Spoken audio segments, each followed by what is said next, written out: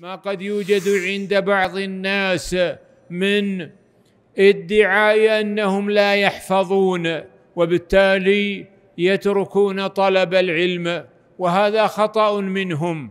فإنك بمجرد سماعك للعلم تؤجر ويكون هذا من أسباب رضا الله عنك سواء حفظت أو لم تحفظ.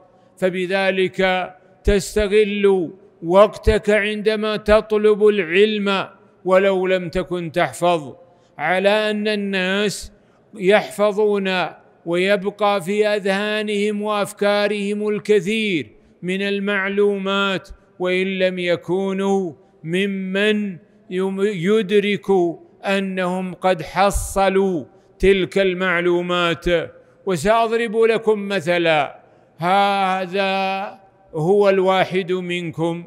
يدرس السنوات الطويلة في المدارس العامة ثم يظن أنه لم يستفد شيئا بينما هو قد استفاد شيئا كثيرا. تمكن من قراءة وكتابة وعرف طرائق الحساب وحفظ من المعلومات العامة وتمكن من أداء شعائر دين الله بمثل هذه الدراسات. ولو قلت له ما الذي حصلته من هذه السنوات الطوال في الدراسة فقد يجيبك بأنه لم يحصل إلا القليل بينما هو قد حصل شيئا كثيرا.